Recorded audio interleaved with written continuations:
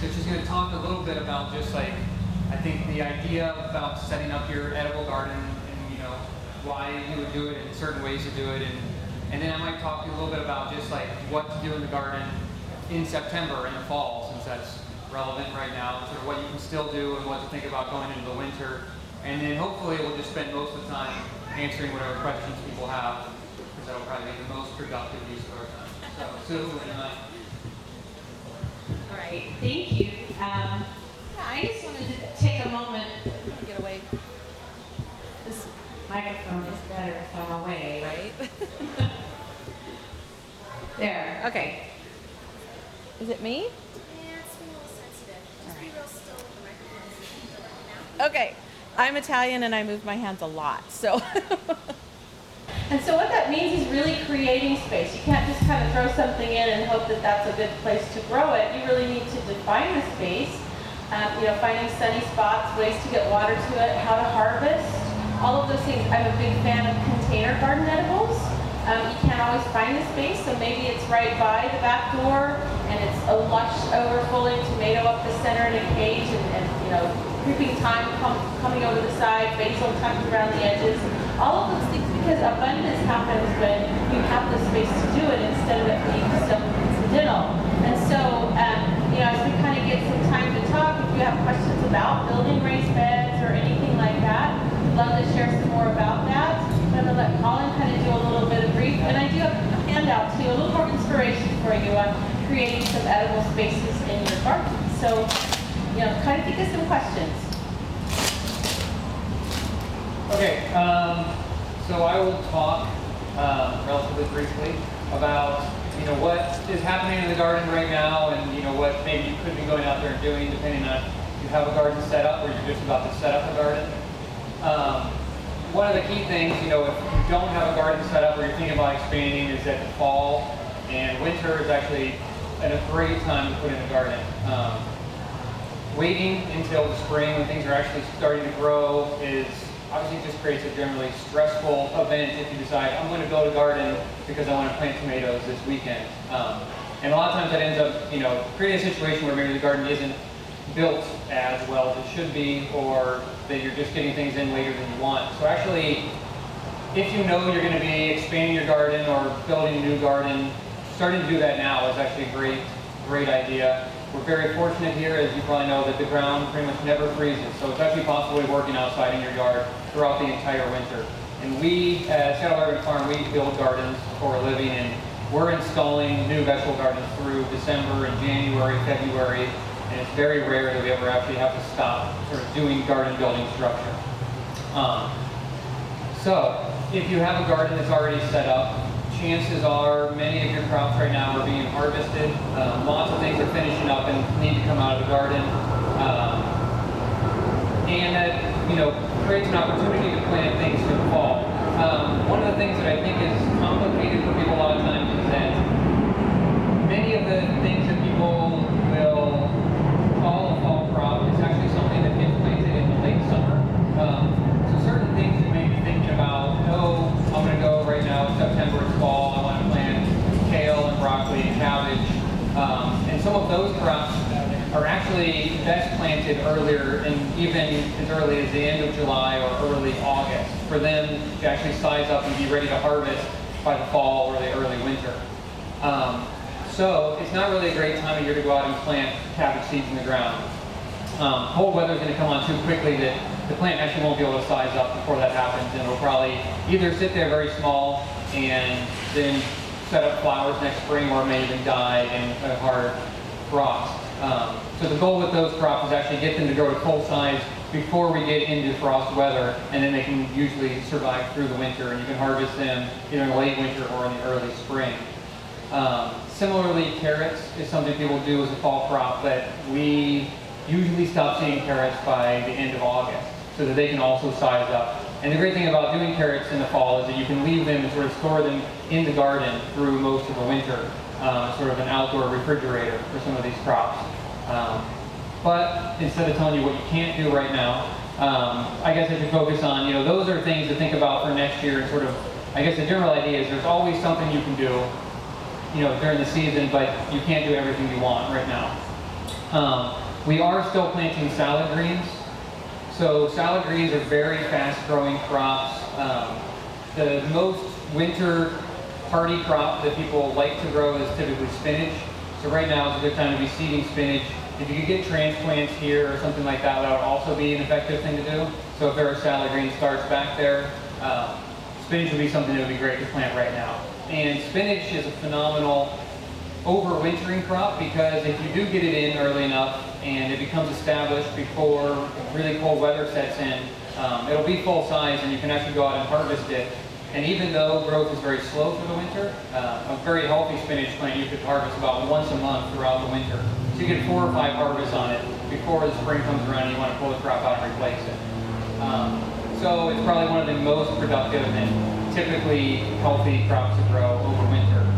In addition to that, um, you know, you can still do cilantro, which is, you know, a really fast-growing herb. Um, and it's actually kind of nice to grow cilantro in the fall because it will germinate when the weather's like this, but it's actually, once it's established, it's really cold tolerant as well. Last year we had cilantro live throughout the entire winter. Can take light frost. Um, in a really cold winter, you might end up losing it, but uh, seeding it right now, you know, and spending 20 cents worth of seed is definitely worth the chance that you might have cilantro to pick all winter. And cilantro especially, which is very notorious for bolting throughout much of the season, it bolts very quickly. That process goes a lot slower during the winter. Um, in addition to that, mustard greens. Um, if mustard greens is something you already like or you think you could learn to like, that is one of my favorite things to plant in the fall garden. Um, they're very tasty, they're very spicy, and they're very cold hardy, and they grow really well throughout the winter.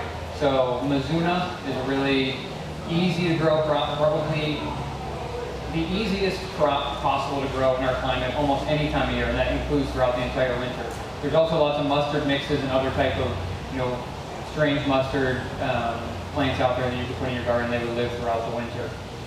Um, in addition to that, coming up, and this doesn't happen quite yet, but it's garlic planting season in the fall, and we usually plant garlic at the very end of October or even sort of like the very beginning of November. The idea is you want to get garlic in after the weather's cold enough that it won't sprout right away. If you planted garlic now, um, it would probably sprout and you have a, a little grain shoot that was a few inches tall, and that's a lot more likely to be damaged over winter with cold weather um, than if the sort of the little garlic clove just in the ground and waiting to come up in the spring. And it's important to grow garlic or plant garlic in the fall get exposed to that cold weather in order to perform well the next year. So people sometimes will plant garlic in the spring, um, which can work, but typically it will not turn into a big bulb, or if it does, it's very small, or it may just sort of send up a shoot and you don't really get any bulbing out of it, which is great if you want to grow green garlic, which is something that people do. But if you want to get a big head, you want to have it out so that it sits in the garden all winter. Um, and that sort of triggers a mechanism inside the plant that tells it to sort of start dividing and form, you know, from one clove into an entire fall. So, you know, starting around mid or late October, start thinking about putting your garlic in the garden. Um, and, you know, I guess in general, the garden is going to be mostly empty by probably the end of October because most of your summer crops and spring crops will be finished and almost all that space will probably be empty. Maybe you'll have a few patches of greens or maybe you'll choose not to grow anything through the winter because um, you don't feel like it or you'll be out of town. And so the fall is a really, really great time to add amendments to your soil. And um, the first thing to think about is the pH of your soil. Every year here in Seattle, your soil is probably becoming slightly more acidic. Um, all the rain that we get through the year is has a slightly acidic pH, and so over time, garden soil is always just becoming a little more and more acidic. Um, and vegetable crops like slightly acidic soil. Typically, they want a soil between 6.9 and 6.3 or something. Um, you know, which is on the pH scale, which goes from 0 to 14, and so 7 is neutral. And if anybody remembers this from sort of high school chemistry class. Um, but it's really easy to get a pH kit or a pH meter and to just stick it in the soil and see what your pH is. If your pH drops below the, the ideal range for vegetables, like below 6.3, um, it prevents the plants from uptaking nutrients from your soil. So even if you go out there and you're adding tons of organic fertilizers and things to your soil, if the soil is extremely acidic, they might not be able to absorb that, which means they won't grow very well. So we typically recommend, you know, checking your pH in the fall, and chances are you're going to add lime to your soil either every winter or every other winter. As a default, we usually tell people if you're not going to check the pH, um, just plan to add lime to your garden soil every other winter. And it's nice to add it in the winter because it takes a few months for that lime to sort of be incorporated into the soil and actually change the pH. If you forget to add it in the fall, it'd be better to add it in the spring than wait a whole another year because sort of like the sooner you get it done, the better. But it takes a few months to take action, which is why right now is like the perfect time to do it. Um, you know, in addition to that, it's a really good time just to add other amendments to your soil, compost in particular. We recommend adding compost to the garden every season, and fall is a great time to do it because you can just sort of add it to the garden after you clear it out as like a top dressing, um, which covers up the garden, makes it look nicer, and that also allows the compost to sort of continue breaking down for the winter, and the nutrients in it will sort of slowly leach into your garden soil and be more available for the plants next spring. Um, I recommend against plant adding any other sort of organic fertilizers to the soil at this time because most of those will completely break down and wash out of the soil by the time the spring comes around, so it would kind of be a waste of resources. Um, but definitely adding lime, which increases the alkalinity of your soil, and adding compost in the fall are really great ideas.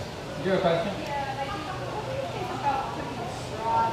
I actually have been talking about it, but, Um, um, and I have this grass that's deleterious. It's hard to get rid of, but, um, I think straw is a good thing to put on top, I mean, over the compost line. Yeah.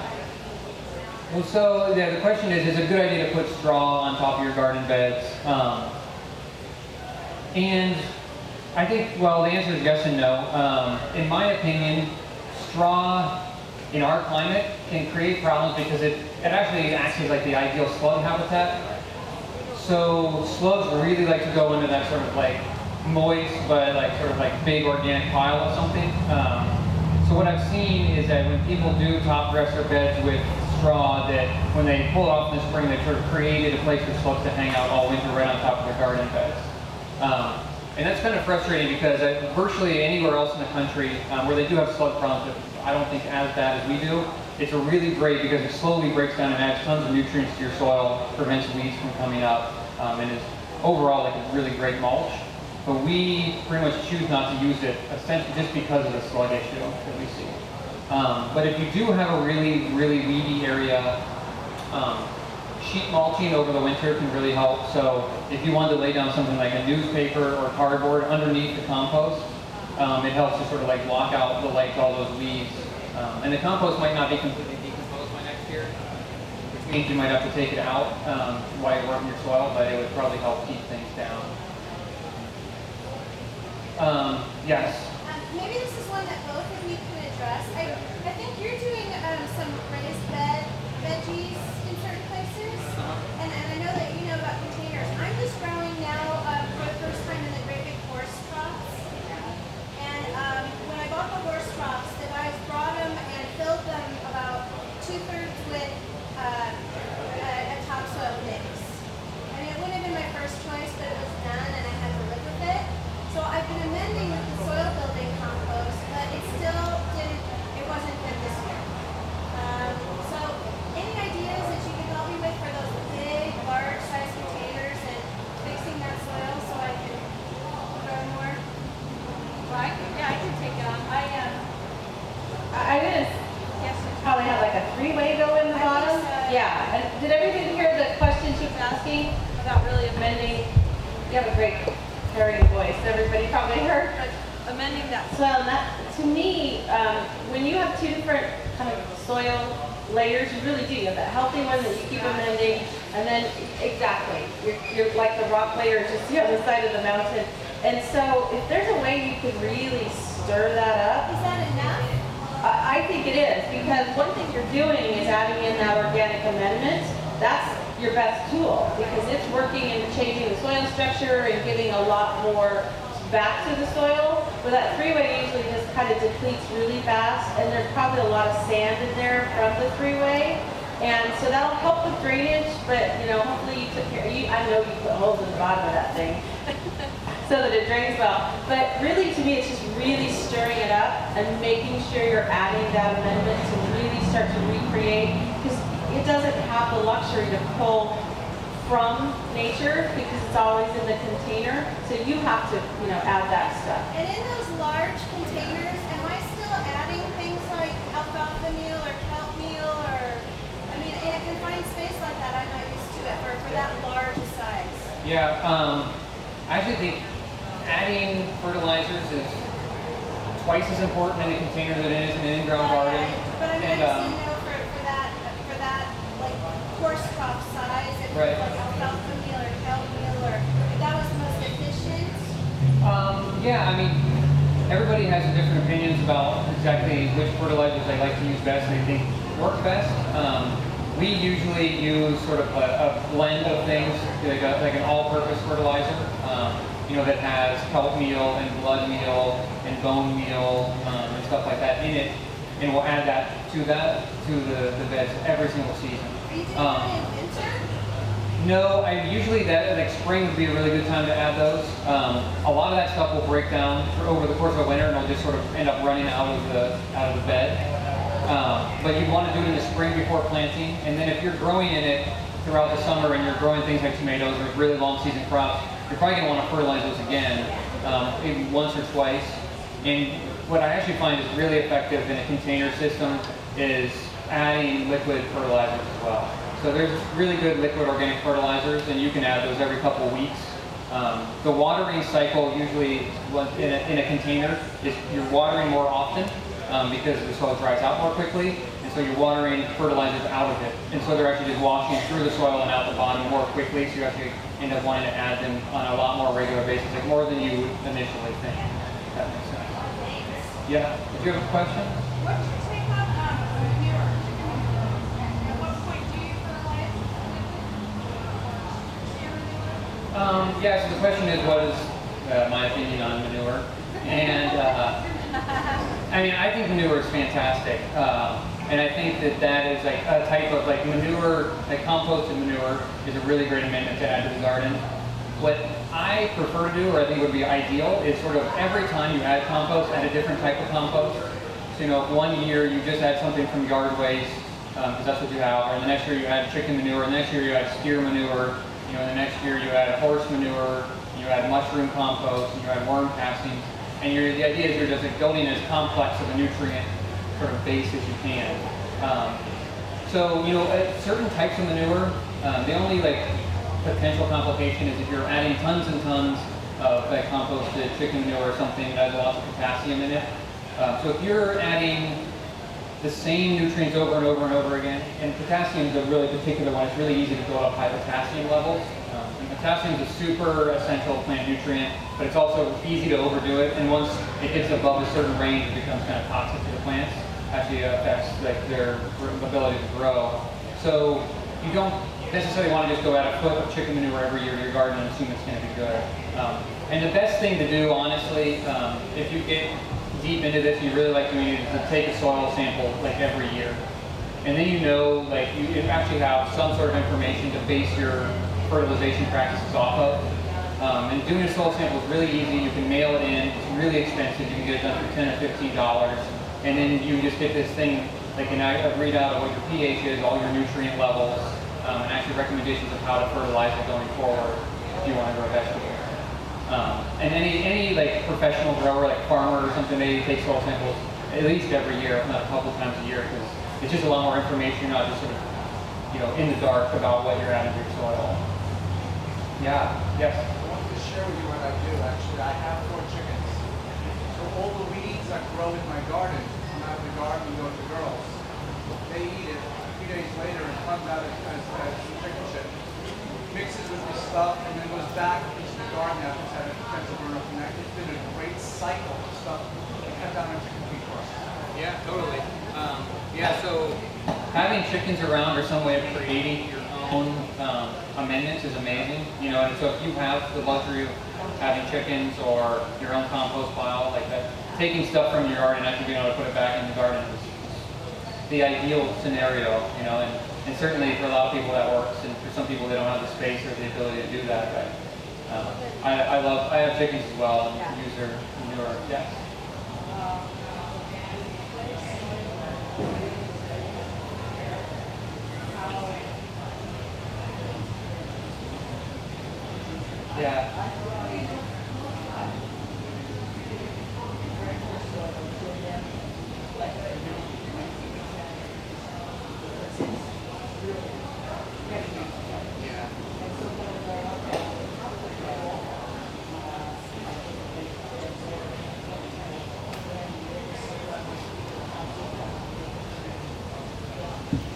Yeah, so the question was how deep would you want a raised bed to be if you were working on top of something like really heavy clay? Um, and for, in my opinion, 18 inches is like an ideal depth. Um, you can build taller than that, you can build two or three feet and it would always be better.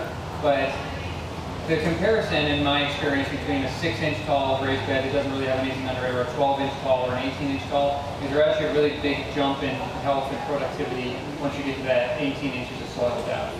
Um, we do have gardens, a lot of gardens actually, that are built on hard surfaces that only have 12 inch deep beds because that was all that was practical and they do well. And they do, I mean, so that would be totally fine if volume of soil and like cost of raised bed material was an issue. I think you could have a really productive garden with 12 inches, but if I was doing it, my recommendation would be to go ahead and put it up to 18 inches if you can, and it makes a really big difference. And um, the type of soil you put in there is obviously hugely important. And one actual blend that's available locally that we use a lot is, this is Cedar Grove. They actually have their, that's something called vegetable garden mix. Um, and it's basically like a three-way soil that has compost and sand and topsoil. Um, and it has proven very well, like very adaptable for a raised bed, where it has a good structure, so water can move through it, um, but it also provides a lot of nutrients and, and seems to work really well.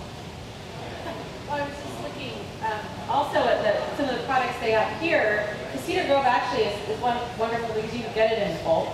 So if you're building some beds, you need some substance, you can get, get in a load. But if you're, you know, just working at amending or wanting to add more, uh, Garden Bloom is a really great product. Their soil building compost, I use it a lot. And I bring in truckloads of manure. I have chickens. And they say real quick on the, chicken thing that I do because um, you know, I get, I'm not a, a, farmer, but I'm a city girl farmer, and I have some chickens. And um, with their manures, uh, we add um, it's either straw or it's the cedar chips that I keep in their keep the coop nice and dry and clean and bug free, especially the cedar. That mixes with the with the uh, chicken coop, and um, so I set that aside, and then that's ready really quickly within a season because that hot manure is starting to break down and, and it creates a nice fluffy top dressing that I side dress all my raspberries. It's real lazy, you know, and literally they do get all my weeds as well. The girls get the, weeds. Hey, would you two both address uh, pollinators? Know that not a lot of people are familiar with uh, what's going on with bees and other pollinators and with respect to vegetables and how to get better pollination. Right. One thing, um, pollination is huge. I mean, if you start reading studies about if, if all our bees disappeared, kind of a thing, we would have zero food, and people don't even make that connection that we would have no food because we would have no fruiting, we'd have, all of those things would happen. So pollinators are vital, and part of pollination in a garden, especially a city garden, uh, or even in container gardens, is, is bringing attraction in. And attraction isn't always like that cute red flower that the hummingbird goes to. Attraction is flowers that bring in pollinators and give them a place to live and, and hatch and do all of those things as well. So it's really important, to me, it's the balance of the garden.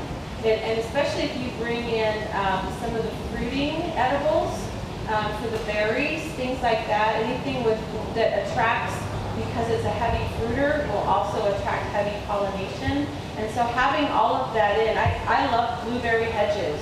I mean, they just really bring in magic. They bring in the birds in the later season. When you start blueberries,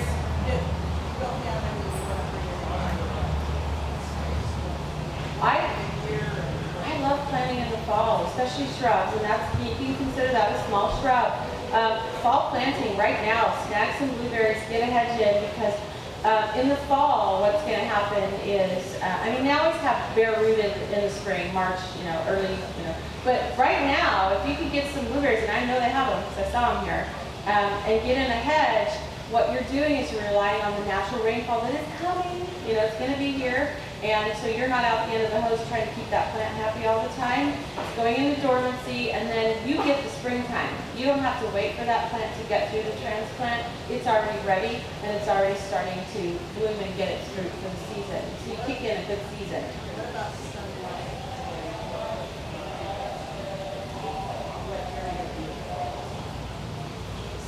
Sunlight in general for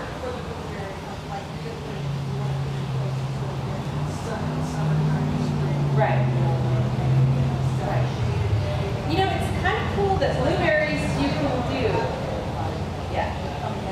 Oh, they're just friendly little things right there. They're blackberries. We're, we'll just let that go. Um, blueberries, interesting enough, I actually, in landscape design, use blueberries as an ornamental a lot because I think it's a bonus plant. You get the fruits, you get the pollination, you get all of those things.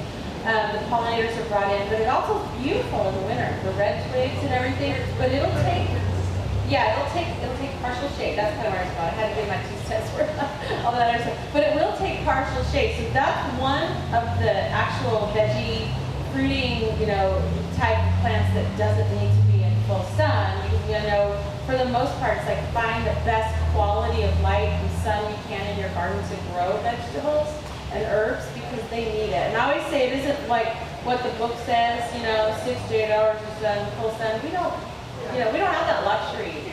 Sometimes we have trees in the way, we have the buildings, we have whatever. So I, I always say look for that really great quality of light. So maybe you get a really great dose of morning sun on the warm side of the house against the brick wall, you know, the deck, whatever that gathers heat. If you can get a really great quality of light through even half the day, you can grow herbs and veggies and even or that afternoon really shock of sun that'll come in maybe it doesn't get sun in the morning but it's really allowing as much quality of light if you don't have the luxury of no trees and everything else blocking the light so that's you know one way to look at it but blueberries can go kind of both ways I don't know if you to talk about that as well to address. Uh, one thing, if, just quickly, if you have a really shady spot, if you planted an evergreen huckleberry there, which is actually a relatively blueberry, they do phenomenally well. They uh, prefer almost almost total shade to sunlight. They they'll, they're an understory native plant here, so they get really big. They like acidic soil and they're really really tasty. Like mini blueberries. I think that, that leads right into a really hot topic right now, ornamental edibles. So blueberries, huckleberries, are there others that you can address that would fall right into that category that are beautiful and edible? Yeah, ornamental edibles. I mean, I think there's there's tons and tons of them. Um, blueberries, huckleberries. Um, I currants are really pretty. I also think gooseberries are a really nice bush. Um, we use artichokes a lot of times in landscapes because they're really beautiful, dynamic plants. Um, echinacea is something we plant a lot. Like uh, flower, it also attracts beneficial insects. Um, Nice.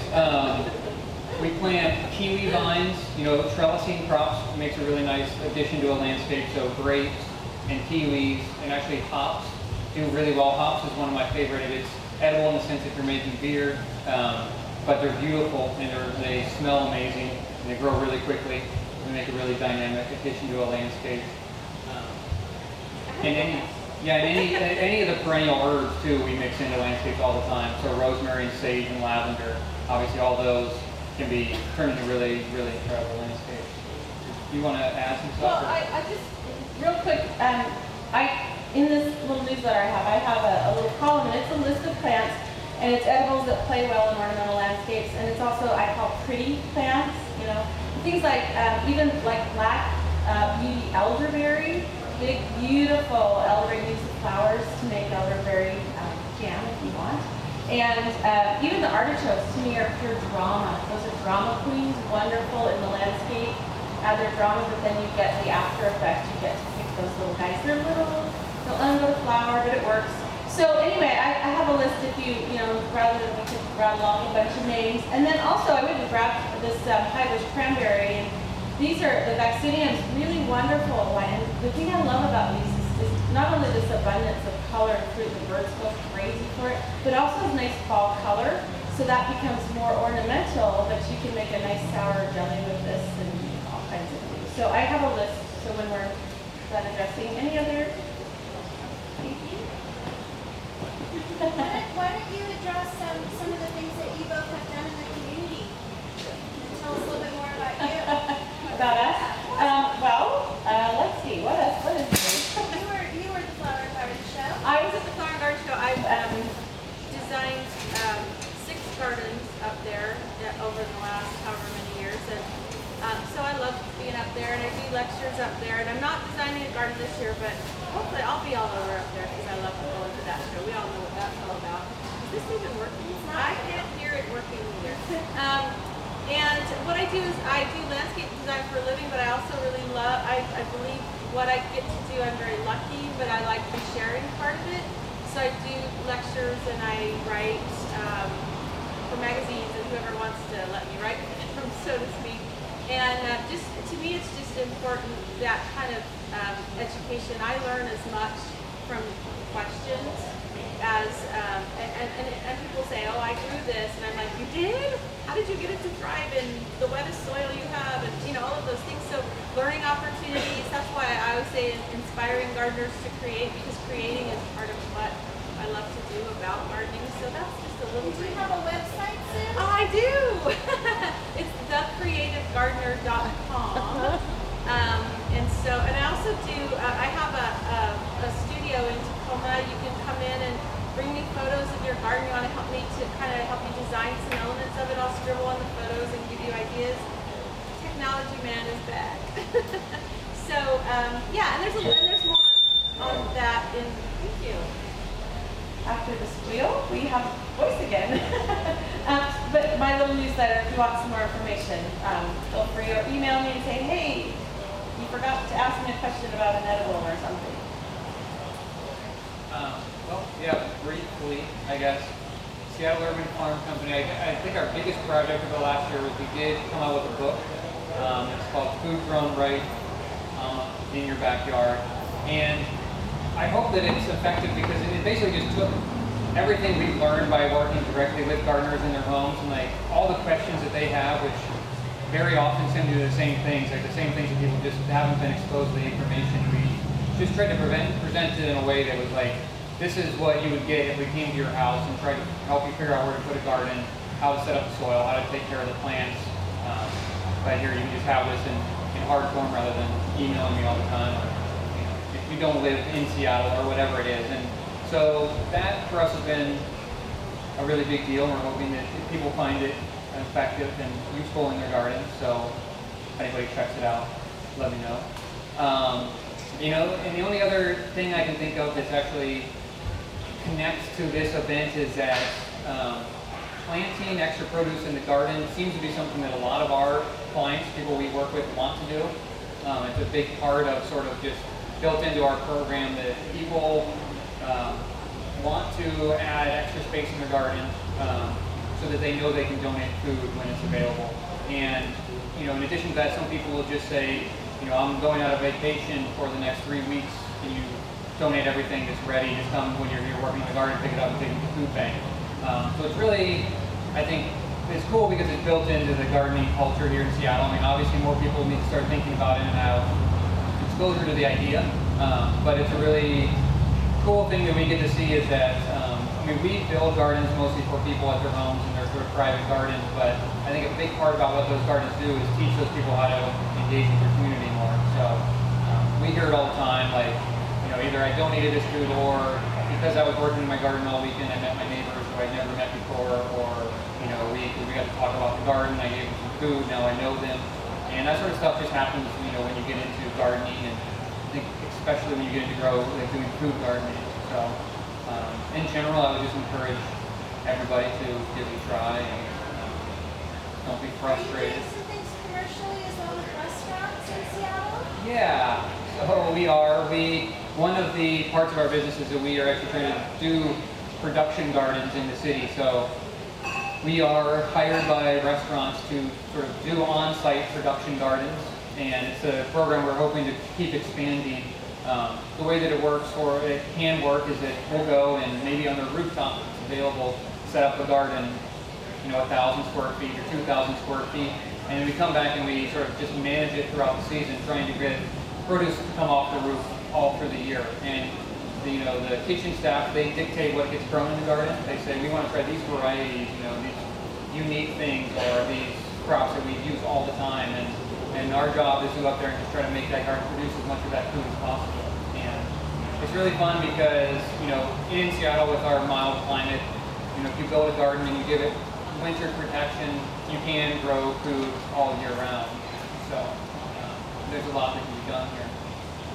Got pictures of that on your website? Yeah, and so I do have a website. I have cards that I guess maybe I'll just put over here. If anybody wants to check out our projects or email us or see what we're up to ongoing, uh, that'd be great. Yeah.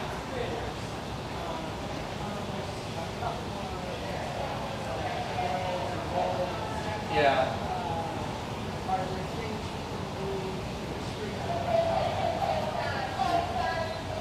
Yeah, so the question is about critters and, you know, every single critter has its own sort of like approach that you have to take to it.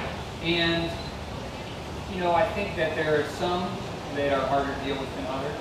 Um, and there's some, depending on where you live and the critters that are in your area, like many things can be discouraged by fencing. Um, you know, a short fence can keep out rabbits and woodchucks, which are super common pests in, in, in sort more rural areas. A much larger fence can keep out deer. Um, voles can be really tricky. Um, what we found is that actually trapping them seems to be the most effective if you're willing to kill them. Um, there's actually information about that online. You find basically setting up mouse traps like in little boxes. Kind of encourage them to, to go into those. Um, can help with that. Um, then there's tons of in, tons and tons of insect pests, and cutworms being you know one of the primary ones we have every spring on our brassicas. And um, the most effective thing we found to date is that you know the way the cutworm works is it basically is moving through the soil underneath, and it's essentially swimming through the soil and encounters the stem of your plant or and sort of just like eats through it. Um, so what we do, and this is primarily an issue with brassicas in the garden, so broccoli or cauliflower, cabbage. Um, we actually take toilet paper rolls and we put the plant, the transplant, we always transplant brassicas they sort of just seem to perform better and it's easier. Um, and we actually put the stem and the roots, the base of the plant inside the toilet paper roll and plant that in the garden. And what that does is, you know, the roots are able to grow out the bottom of it and within a pretty short period of time expand out and actually just, you know, eat through the toilet paper, which is relatively thin cardboard. But in those early weeks of the plant, um, when it's most susceptible to cutworm damage, it actually physically excludes the cutworm from getting to the base of. And, you know, you might still occasionally have problems, but it seems to make a really big difference. Um,